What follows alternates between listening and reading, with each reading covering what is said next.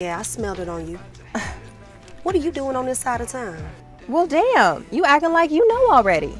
What's wrong with you? Nothing at all.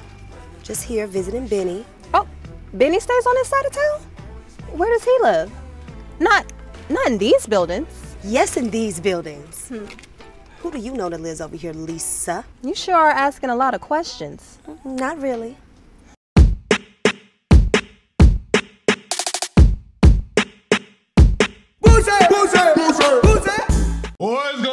Beautiful people? It's your boy here, Wesley from A Connection TV here on YouTube, the one place on the World Wide Web where we actually adopt similar connections despite our differences. And welcome to my channel. If this is your first time seeing me, definitely follow me on all social medias, uh, Twitter and Instagram at A Connection TV. Like this video, leave a comment on this video, and subscribe because all three things are free to do. And if you do one of the three or three of the three, you will help your boy out. Now, I am here to talk about episode 11, Weight of the World, the Challenge World Championship. Baby, we are coming to the finals. And this was one of the best episodes in a long time because it was drama, there was suspense, there was thrills. And baby, this was one of the best home brawls I was ever yelling at for, like, I can remember because y'all know I'm very forgetful. But baby, I was yelling, I was screaming. What? Oh my God, this was a very good episode. And it was like a clean, swift episode all the way to, you know, the elimination round. Uh, and yeah, let's get into it. Five teams left Australia, UK, and two USA teams. Australia, UK, no, two Australias, two USA, and one UK team. And, um, you know, you already know who my favorites are. You already know who I'm rooting for. But according to what's to come, I don't know. It's looking like Danny is going to be hospitalized. And I'm not really feeling that at all. Like, what? Troy and Kaycee defeat Darrell and Kiki. And, you know, Kaycee is coming in gloating in the mud. I mean, I would be too. You know, me and Kaycee started off, well, we've been on a, on a on a horrible foot for a very long time, plenty of seasons. But this is the first time in reality TV history where I've seen Kaycee like work and get to the final on purpose, right? So I can really be there and be like, yo, she's she's dope. You know what I'm saying? She deserves to be there. And her, especially her and Troy, deserve to freaking be there. And I will be saying the same thing for Darrell and Kiki because Darrell and Kiki kind of always been thrown in, or you know, um, Tristan and Kellyanne has always like been thrown in. So like for me, I feel like if you're always thrown in and you're making it and making it and making it, and then you get to the final, then you deserve to be here. And of course, if you politically play and you win, then yeah, you deserve to be here. But it's more of a respect thing if you go through the eliminations. Kind of what Tori was saying to Danny if you go through the eliminations and you make it to the final. Granted, Tori ain't been to no through no eliminations, and neither has Danny. But we're gonna see who gonna win. And again, by the look of this, you know, coming to or what's coming up next, it doesn't look like Danny and, and Tori are going to win. Kaz wants to speak to Jordan because she feels like she is a pawn in his game, and they end up having a conversation. But to me, by the looks of this conversation between the post confessionals and between what's actually happening on screen during recording, it seems like throughout the particular challenge or the remainder of the challenge, her Kaz and Jordan still bump heads because in the post confessional, he's still finding himself needing to apologize to her. And you know, Kaz is still crying. Mind you, she walked off on one of the post confessionals. So clearly, even though in this moment Jordan is apologetic and saying that he appreciates her or whatever, you kind of get an idea that maybe they didn't win the final, or maybe they came close, or maybe they dropped out because of her in the eating challenge. I don't know what happened, but he's still having to apologize to her in the post confessional, and it still feels soft in her heart because she's crying. So I'm under the impression that things didn't really change that much for the remainder of the show. What do y'all think? Yes and Emily feel that they are eh, completely safe because they have a deal brokered with you know, Kaz and Jordan that, you know, Kaz and Jordan won't win and it'll be what it needs to be child. This this whole thing is a mess. Sarah has a husband and a child, and I'm I'm sure they probably mentioned this before, but I never really cared that much about Sarah to really get into her personal life. So you know, I'm shocked to be honest by seeing the husband and the child. Sarah's husband is fine, and so I'm like, I just don't see I don't see Sarah as the stereotypical motherly figure that, you know, the world has, you know, etched in my head that a mother should be or a mother should look like. I know that sounds horrible, and I'm sure it, yeah, it is, but I just never pictured her as that, you know? She's very gritty, she's very rough, she's very like raw, and I just don't see her getting emotionally emotional about her husband and her child. But shout out to her having a beautiful family. The family is beautiful. The husband is gorgeous, but apparently there's problems at home. And she's feeling withdrawal from being away from her family, and she's not liking it at all. And she confides in Danny, and Danny, you know, is kind of roping her in and saying, hey, you'll be fine. Apparently, Danny and Sarah have been attached to the hip with each other every day, calling each other after their win. I guess it was theirs. After the win that they had on the Challenge USA or whatever, you know, coaching each other and, and bigging each other up or whatever the case may be, leading up to the World Challenge. So they're pretty tight, I would say. At least they, they pro have proclaimed this tightness all season long. This particular challenge is called Downfall, and this particular challenge will decide who's going to make it all the way to the final, or at least the winner is guaranteed a spot in the final. So, you know, these teams really need to win. This is a swimming challenge leading to a not untied challenge, and Emily and Yes think they have it in the bag. I really appreciate how these, these do these uh, post confessional tapings because you be thinking that people are really gonna last and then they don't last. So the producers are really, really smart with not giving that away. But Emily and Yes, I'm thinking that at least they're gonna make it to the ladder first. Wrong. Jordan and Troy make it to the ladder, and that's probably because Emily is carrying Yes. Ooh, let's about it. Cause Emily been carrying Yes this whole competition. And she gonna end up thanking him at the end about if it wasn't for Yes. Girl, what did Yes do to you but make y'all lose? You had to carry him in all the swimming challenges. You had to carry him all the puzzle challenges. You, what has Yes done but been a male to your female in no partnership? I'm trying to figure it out. I like Yes. He won his last challenge and, you know, uh, won his, you know, on his own. So he's a competitor. But he's been an Achilles heel to Emily this whole game. You know what I'm saying? Emily and Yes making up the ladder. They sabotage Casey and Troy. Um, um, Jordan and Kaz making up to the ladder. They sabotage Emily and Yes. Now, Emily and Yes is shocked, but you know, Jordan know how to find a loophole in his dealings that he make with people. And so the deal was not to make sure that they win. The deal was to make sure that they don't win. Jordan and Kaz. So they sabotage Emily and Yes.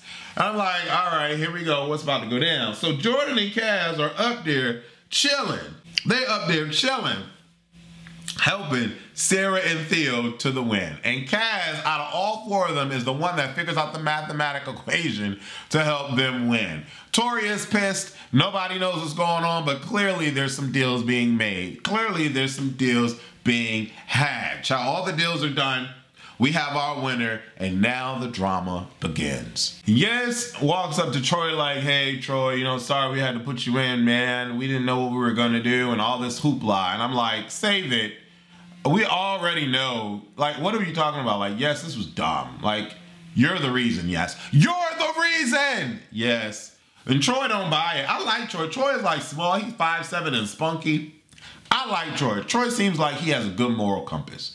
And, you know, although he his original partner was Amber, I don't think that Amber and Troy would have made it this far. So Kaycee coming to Am to Troy only proves that they have the ability to make it far, right? It only strengthens his ability to win. And I can give Kaycee that, right? I, I can give Kaycee that. They both equally have been yoked and proving to the opposite opposition that they deserve to be here, right? No one is carrying the other. They're equally yoked, and that's hot, pretty hot and tempting to me. I like that.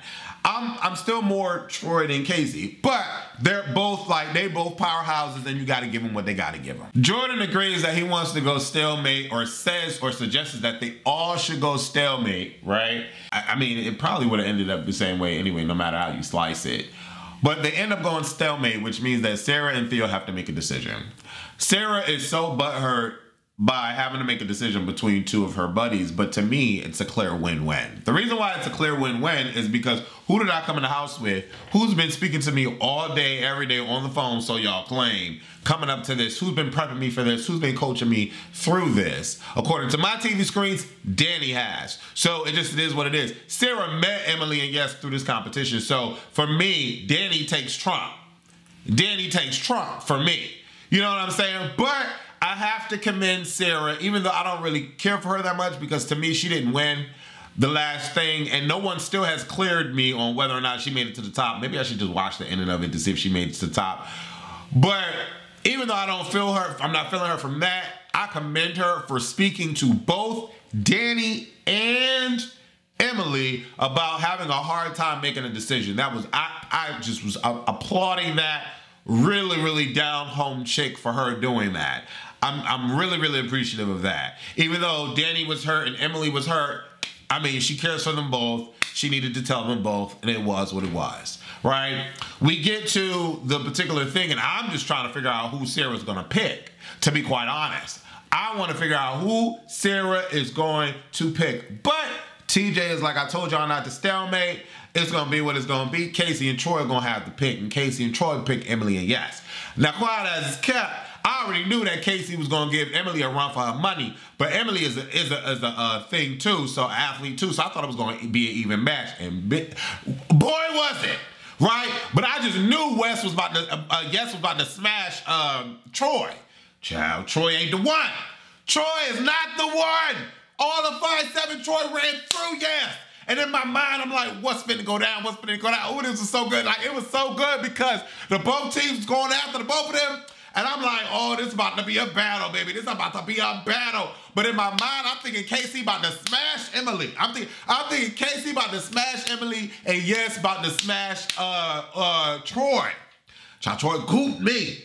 Troy gooped me, and Troy smashed through yes. Smashed through him. And now I'm like, uh-uh, wait, hold on.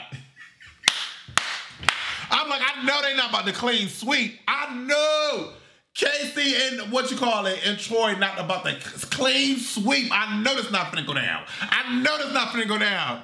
Child, boom. I'm at this point, I'm yelling, screaming at the screens. I'm screaming, right? And you know, Emily go up against Kaycee. Yeah, what I tell you, I was, I was, I was seething, salivating out the mouth. I'm screaming. I'm like, go, go, go because I didn't want it to be a clean sweep for Kaycee. Yeah, you know, Kaycee and Troy, they doing anything. They're a power team. They are a power team. But, well, you know, I wasn't really, uh, I, yeah, after what Emily did to Kiki, uh, nah. So basically, they, both teams kind of like on the same play field for me. But I'm starting to like Emily, I mean, I'm starting to like Kaycee and Troy over Emily and Yes because Kaycee and Troy this particular season did not play a funny fugazi game. Emily and Yes kind of been fugazi and funny with it. So at this particular point, I'm kind of like one up on, you know, Kaycee and Troy, kinda. But I'm still wanting Emily to beat Kaycee. Cause I just want to see her get her ass handled to her. And baby, Emily gave it to Kaycee. Emily gave it to her. And I was like, biz is a tie. Is a tie game. Now TJ and, and, and, came with the coin or whatever, like head flip, double boom. I'm like, please give it to Yes. Please give it to Yes because Yes need to prove himself. Like Yes ain't do nothing this whole season. Emily been held, holding him up this whole season, but it end up with the women again. And you know, when I tell you, I ain't never been this hype for a.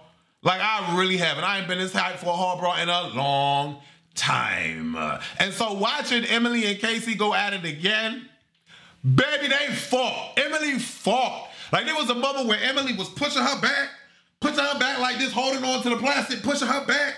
And I'm like, bitch, you better dig, girl. You better, like you dig. But Kaycee got the better of her and got closer to her edge. Then Emily got closer to her edge and it was what it was. Kaycee and Troy won fair and square, and I felt so bad for Emily because Emily pulled her heart out crying at the end because she just wanted to win so bad, and I know, I mean, yes is the problem. Like he couldn't even win his one up. Like if yes would have won, y'all would have won. Mine that would have that would have gave you the gusto and the girth to just go through and beating. But yes, like what? Yes was a no. Yes was a no. And Kaycee and Troy pull out the win. They smash in the competition. Kaycee and Troy deserve to be in the finals. Kaycee and Troy probably will pull out the win. And I don't know, it just sucks because it seems like it seems like it's going to be either Kaycee and Troy winning or Sarah and Theo because Kaz is in the hospital and Danny is in the hospital. So, who winning? Who winning? I think Sarah has heart. They, it don't look like they're gonna be in the icy tundra like they was last time. So Sarah did make it far. She just got stuck, and they gave it a win. But um, I don't know. Kaycee talking about my body is breaking down. We didn't see we didn't see Sarah or Troy breaking down in any of these clips. We saw Kaz breaking down. We saw Troy breaking down. We saw Danny in the hospital. You know what I'm saying? So we didn't see Sarah, or we didn't and we didn't see Troy, but I don't know. This could all be misleading. Who gonna win? Who gonna win? It, it's either it's gonna I'm gonna tell y'all like this. It's gonna be Kaycee or Troy, Sarah and Theo, Jordan and Kaz, and then Danny and Tori at the bottom. That's my predictions. Leave your comments below. Let me know what you think. I thought this episode was amazing. Shout out to Kaycee and Troy for making it. Baby, they earned their spot. They earned it. They earned their spot. And I can't do nothing but respect Kaycee and Troy in this particular moment, in this particular season. Right. Leave your comments below. Thank you for watching.